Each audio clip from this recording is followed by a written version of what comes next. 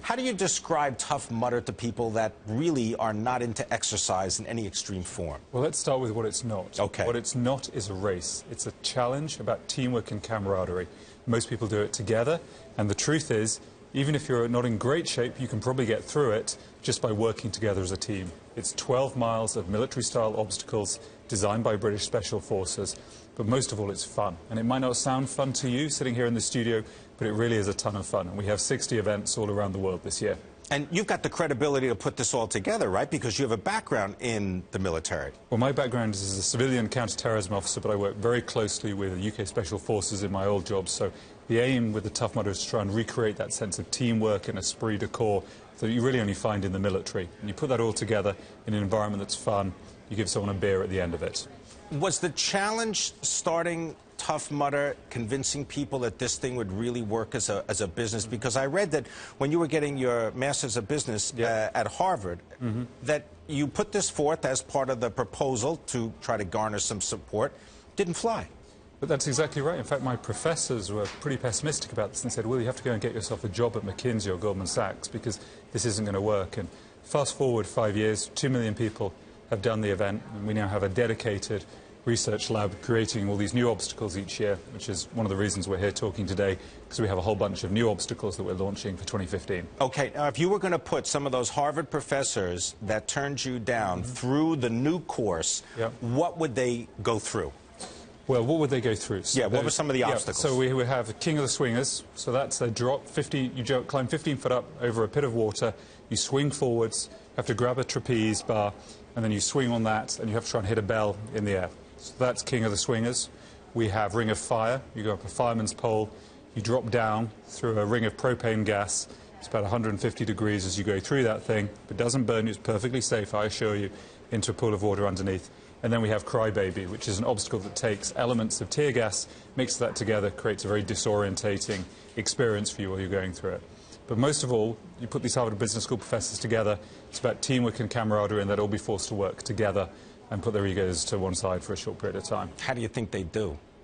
I think they'd get through. They'd have to work together, but I'm, uh, I'm joking aside. I mean, most of them are in reasonable shape. I'm sure they'd be just fine. All right, and they would probably want to go for that beer at the end.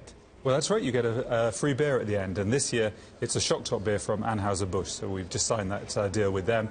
We're very excited by that. So they, they're sponsoring our whole post party afterwards.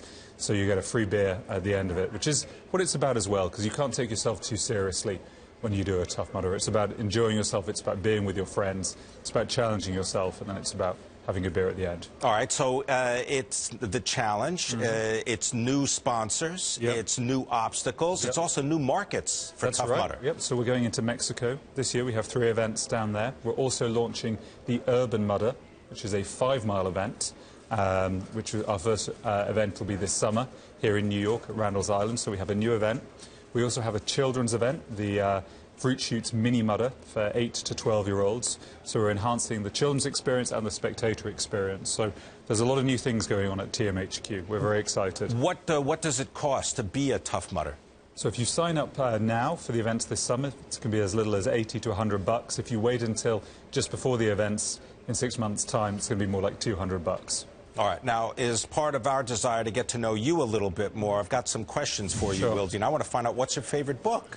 So my favourite book is uh, Catch 22. I think it's a great book. It's a satire. You know, it talks about some of the uh, paradoxes of war. It's a, it's a great book. It's a, a read, and I've read it twice. It always makes me laugh out loud. All right, so when you're done with Joseph Heller, what about television? What's your favorite TV program? So, uh, uh, House of Cards, you may be aware, is actually a remake of a British show. So, my favourite TV show is the original British House of Cards, which was 15, 20 years old now, but it's still as good today as it was then. Uh, there, was a, there was a drop at one point. Someone dropped off a whole building in that That's thing. right, It's yeah. Like so the he- Tough Mudder yeah, thing, he, yeah. He, he pushes her off the top of the House of Commons, yeah, actually. that was, that was risky. All right, so what about a role model uh, for Will Dean? Yeah, so uh, James Dyson is the founder of uh, Dyson Vacuum. He's obviously gone on to invent a whole bunch of other products. A rare thing, a British entrepreneur.